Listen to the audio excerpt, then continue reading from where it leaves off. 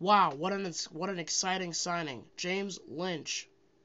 Welcome back to the Minnesota Vikings.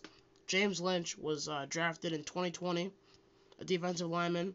Uh, obviously sustained some injuries in the past, but glad that glad that he's back and healthy.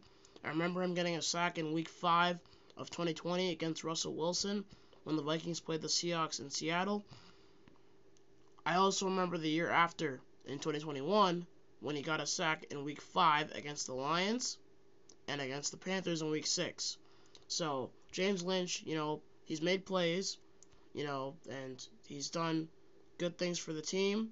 And I can't wait to see him be a good mentor for guys like uh, Drake, uh, Levi Drake Rodriguez, and you know younger guys who just came into the team and into the league for for the Vikings, obviously. But I I, can, I just can't wait to see more things from James Lynch, and I think that if he stays healthy, he could uh, be a lot more valuable and could possibly be on the field for uh, games, rushing the passer up the middle, and doing his best to stop the run.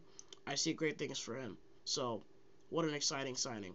And obviously, we also released Joejuan Williams, cornerback, but, you know, doesn't really matter as much. But James Lynch, welcome to the Minnesota Vikings. Skol.